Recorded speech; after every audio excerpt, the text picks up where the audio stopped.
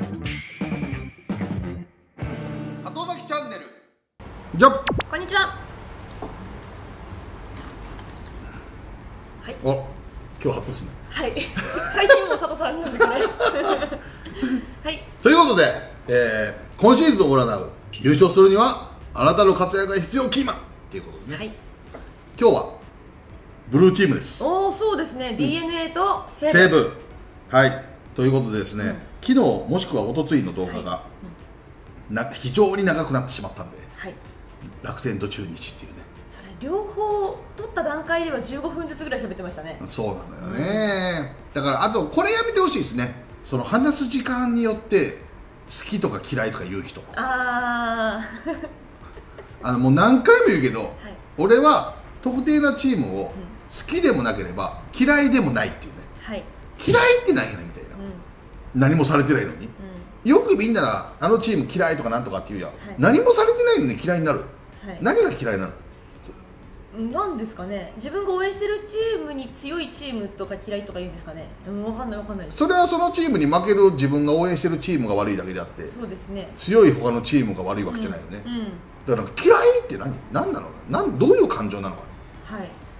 わかんない。私もあんまあの嫌いっていう感情がそこまでないのねない。なんかすぐ好きとか嫌いとかって言うけど、はいあの好きでもなければ嫌いでもないっていうねでもうだって1年半以上この動画やってきて、はい。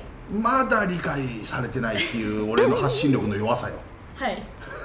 まああとは新規の人もいるからねいやそうですそうです。そうそうそうそうどんどん登録者ってこう増えていくわけですそうだだからね何回も常に言っとかなきゃいけない、うん、そうですね。動画の時間が短いからって、ん嫌いではありませんはい。はい、でたまにこう長くなっちゃう球団あるじゃないですか、うん。でもたまにその分数の中で話脱線してることとかもあるじゃないですか。そうそうそうそうそう、ね。関係ない話とかもねしてるので。してるパターンもあるし、あと何て言っても、はい。この動画はうん。台本がないのよ、はい。いやそうなんです。今佐藤さんがこれから何を言うのかって全くわからないです、うん、台本が全くないから、うん。そもそも長いも短いも、はい。尺度気にしてないよね。はい。そうですねまあこれぐらいでいっかって言ってやめるっていううん、ね、そうですね。袴田なんて一番かわいそうだよ。だって今日何するかも知らないで来てるまあ大体そうですね、うん。はい。今日これやりますって言ってね、はい。もう全部がアドリブよ。うん。ね、うん、そうですね。ここにこうやって撮るよって座って、うん。え今何今から何喋ります？そうそうそう。座ったら最後よ。もうお手洗い以外は、はいここに4時間ぐらいずーっと座ってるからね。いや本当そうです、多い時10この間14本取りましたもんね、うん、でここでご飯食べてね、はい。それだけで他にも全く座らずね、はい。でも確か14本取った時は14本目あたりなんか聞いて聞いてないのよく分かんなくなってましたよ。よく分からなかった、はい。もう俺そう14本何撮ったかももう今記憶にないけど覚えてない。ですよだから同じ動画2回撮ってるんです。そうそうそうそうそうそう。そうあったミラクル。まあある1年半もやってたらあるよ、そうありますね。そうそうそうそう。そう、ね。はい。ということで、はい。今日は西武とうん。DNA、はい。まずはね DNA はい。DNA の去年のキーマンが外国吉です。はい。だから外ね、やっぱその外国人がファーストロペスセカンド外、はい。ライトオースティン、うん。なるっていうところで、まあ、守備力も含めて、まあ、40本はマストだねみたいなはい。ことをね、あの去年の動画で言ってましたけども、はい。去年は114試合に出場してホームラン25本打率2割5分2厘、打点78と。まあちょっと打率落としちゃったから、まあ、試合数がねもともと120試合で少ないんで、まあ、普通に打ってても、まあ、30本後半ぐらいは打ったかなっていうね、うんそうです。25本打ってれば、うん。っていうところはありますけども、はい。まあ、今年はね、ロペスが対談っていうところで、はい。まあ、外がねファーストに回るのかなっていうところはありますけども、はい。なんて言ってもよ、d n a は外国人一人も来日してません。あ今そういう状態なんでしたっけ？そうそうそうそうそうそう、はい。だからね、うん。どうなるのかっていうねところはありますけども、おう。まあ、昨年ね、まあ、あとはピッチャーが国吉。うん。国吉頑張ったんじゃない？去年ね。42試合登板で防御率3.13、うん。いいですね、うん。結構頑張ってるのはい。でもねはい。4位よい。え何が問題？確かにキーマン2人ともそこそこ頑張ってるよね。ちゃんとえ何が問題、ん。ああこちらです。はい。問題点は。はい。今年のキーマキーマンで発表されます、ピッチャー、はい。こちらです。山崎康明です。この鉄壁の人がああ、鉄壁の守護神がう崩れるかとまあね新人から12345年連続ん。まあ、50試合登板はい。でしかも毎シーズン、まあ、1回ね17年26セーブだけども30セーブ以上、うん。でまあその17年はねホールドが15あるんで、まあ、合わせるとね、まあ、30個は優に超えるっていうね、えーところはありますけどもここらこちらがなんとセーブが6、ホールド8という防御率が大体1点台、まあね3点台の時もありましたけど大体もう2点台前後それが5.68です。いや本当でも今までの防御率で本当すごかったですね。うん。うん。それがまさかのはい。このそこがねまあ三島がねはい。守護神になってよかったよ。三島もよかったけども、はいもし山崎がいたらそこを両輪でね持ってよかったんじゃないのかっていう。そうそうそうそう。そうそうでしかもラミレス監督がね、結構あの中継ぎもあうまく使っていくっていうところでのね、はい。この山崎がうまく回らなかったのは大きかったっていうところで今年のキーマンよ。はい。復活なるか、ね。はい。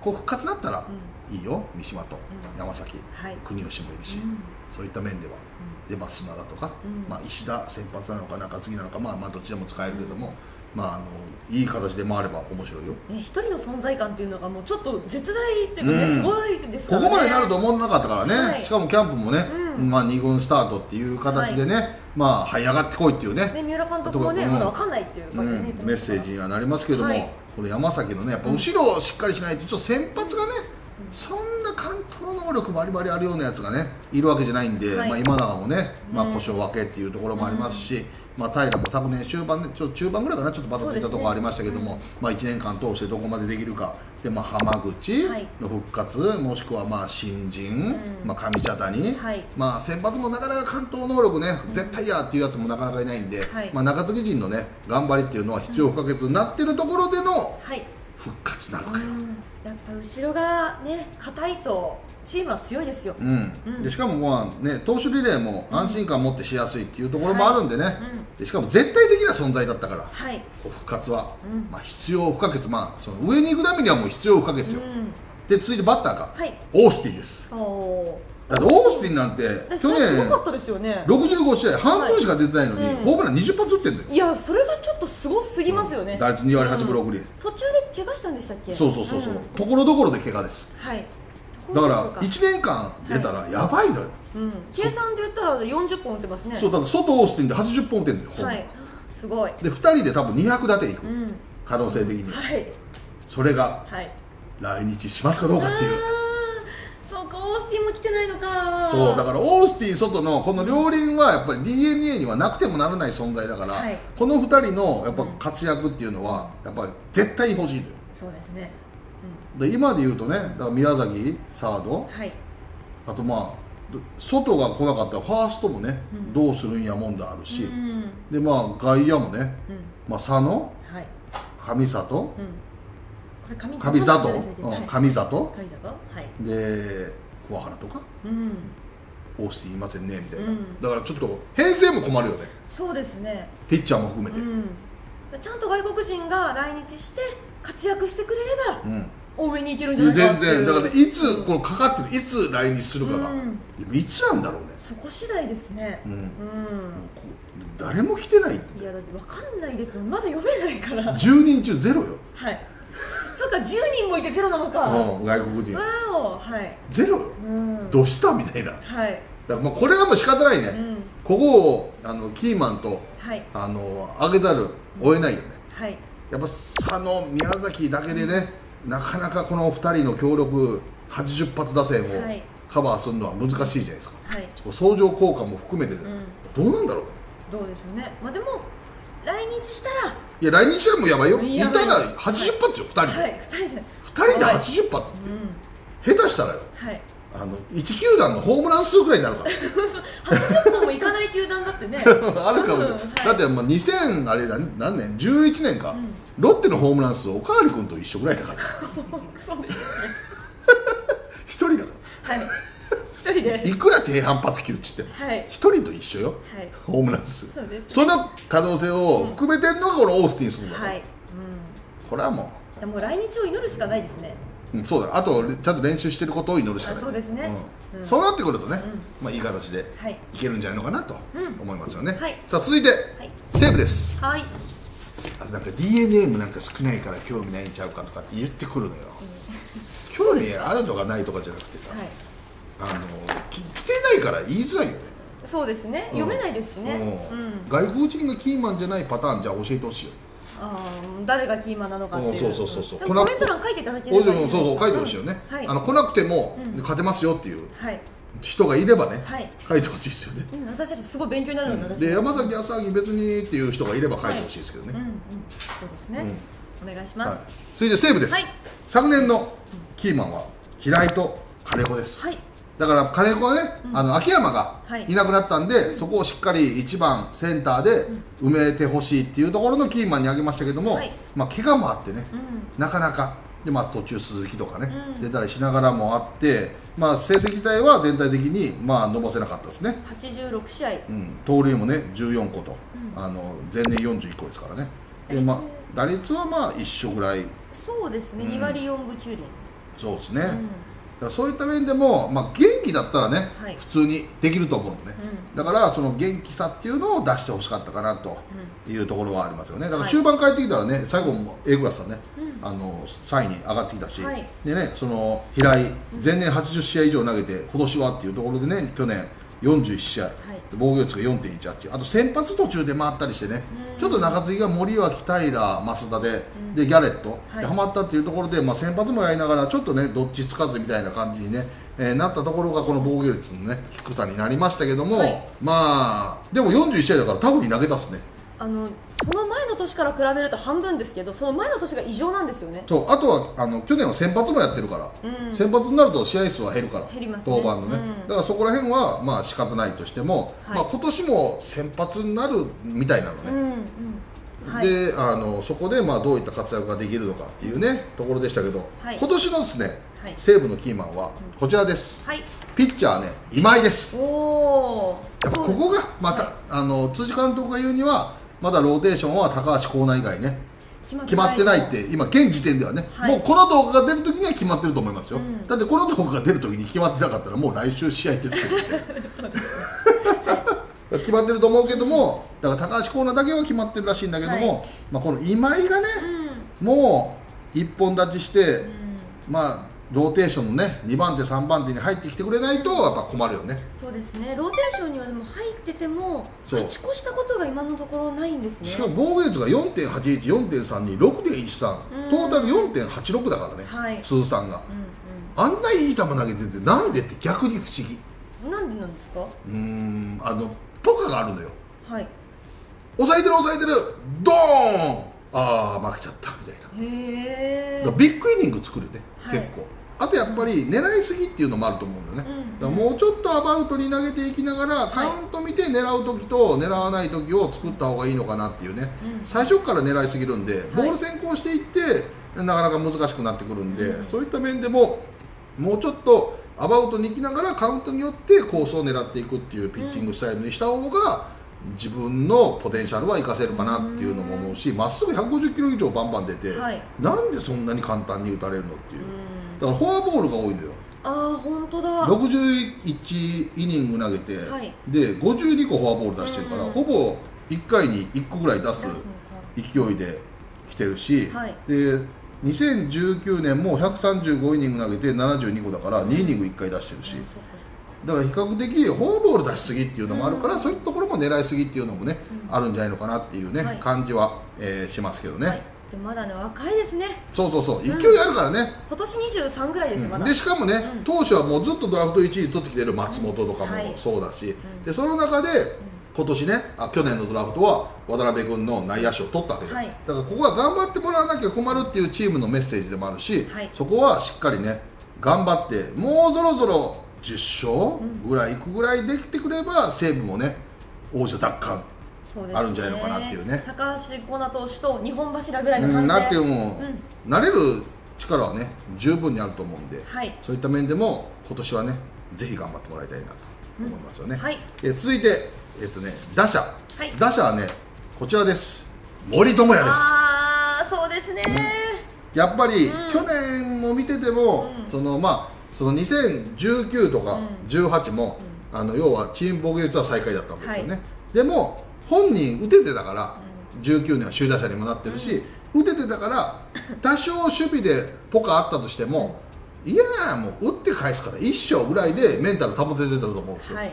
でもそれが昨年打つ方でもちょっとスピードが止まって、はい。で守備面でもこう勝てなくなった時に、もう揺さぶられてるよねメンタルが。その補うとこがないから、うん。それによって、まあ、なかなかねうまく羽ばたけなかったかなっていうところもあるし、キャッチャーも柘植とかね岡田とかはい。違う選手も出ながらっていうところがね、まあ、試合数を減らしたのと、まあ、成績がね一気に下がったかなっていうね。そうですね。今までの打率見るとガクッと下がりましたね。そう。だからあの普通のキャッチャーって見ると2割5分1厘でホームラン9本まあいいんじゃないのっていう確かに、うん。普通のキャッチャー。でもはい。森って考えるとちょっと物足りないよねって。だから森の凄さをね表してる証拠でもある確かに、うん、これもし他のキャッチャーだったらいいじゃん安定した成績ってことああですね俺これ2割5分1厘補給あれ佐々木賞ノミネートされてくるんじゃないの？みたいな。安定した成績残してるのに4000万も下がっちゃうの？っていう、うんそうそうそうそう。なるんだけどもやっぱ森の成績から考えると、はい。やっぱちょっとね、うん。でしかもその面で守備面のうん。ミスっていうところも目立つようになってきて、うん。っていうところがねやっぱこの森がドーンとなって安定的にすることがさっき言った今江のうん勝ち星にもつながるかもわかんないし、投手陣との連携も良くなるかもわかんないし、打撃の面においても打ち勝つセーブっていうところが体現できるようになるから、い。まあ攻守にわたってやっぱり森のね安定的メンタルでうん。試合に臨めるのが大事。うん。っていうところがすごいキーマンなんじゃないのかなと。そうですね。森選手が打てばそのキャッチャーの方にもいい影響が出るし、うんそうそうそうそう、うん。やっぱりちょっとメンタル崩れたかなっていうね、はい。あの昨年は、うん。それはもうすべてその攻撃面が振るわなかったことによっての守備面が露呈されてだから結局う俺はいつも打てばねそこそこの守備力あったら打てば大丈夫って言ってるのも、去年打ってないから守備のことをいっぱい言われるんだよね、うん。でも去年も言ってたけど、一昨年も去年も守備そんな変わってない、一緒なんですね、うん悪くはなってない、はい。ってなった時になんで目立つかっていうと打ってないから目立つわけよ、うんだからそれを打ってれば目立たなくなるから、だからそこをやっぱり持ち前の攻撃力でそのそこに目がいかないようにしてチームを勝たしていくことがメンタル保てるから。はい。そういった面でもやっぱりその打撃っていう部分では、この復活することが攻守にわたって西武にいい影響をもたらすはいいやもう活躍は必須ですね、うん。ん。あとまあ山川とかね、はい。まあやっぱり昨年のね、うん。まあちょっと落ちたのもあるしそこカバーしなきゃいけないっていうところもあるし、まあサードねおかわり君がちょっと怪我で出遅れてるから、はい。サードどうするんやっていうところもあるし、まあいろんなところでね問題はちょこちょこありますけどもその中でやっぱ森がしっかりできることが大前提だから、はい。そういった面でも、まあ、森の頑張りはね、うん。どうなるのかは、うん。チームの面を握ってるんですか、いやもう一人で結構チームが何位になるかって関わってくる気がしますね、うん、ちょっと去年がね、うん。揺さぶられたっていうところが、はい。そこにね若干の脆さを感じたんで、うん。やっぱそこは出すわけにいかないですよね、はい。ということで西武は？今井と森ですね。だから森が良ければ今井も良くなるはずだから。これ相乗効果よね。あそうかそうですね、うん。相乗効果。大事ですね。そう大事大事、うん。そういった面でもそこのやっぱり頑張りね。やっぱそのバッテリーっていうね、はい。西武はそこがうまくいけばうまくいくし、やっぱ d n a はやっぱ外国人っていうのがやっぱりちょっと肝だから、はい。そういった面でもまあ早い来日と活躍はね、まあ、必要不可欠かなと思いますね、はい、だからまあね順位予想的には、うん。d n a は今何お正月は B クラスにね、にしてましたっけ？はい。はい、で西武は、えー、と2位にしてましたかね、いいにました。はい、はい。まあ、どうなるのかですね。そうですね。順位予想お楽しみにということそうですね。はい